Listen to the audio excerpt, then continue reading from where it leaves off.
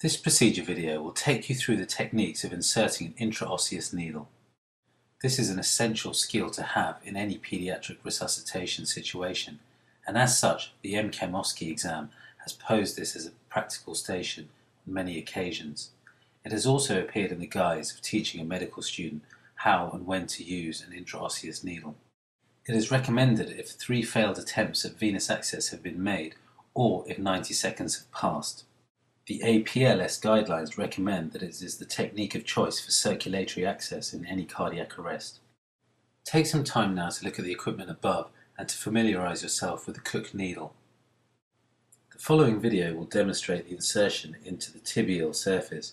However, the femoral surface and proximal humeral surface can also be used in children. So what we're going to demonstrate is an intraosseous needle insertion. The preferred insertion site will be proximal tibia.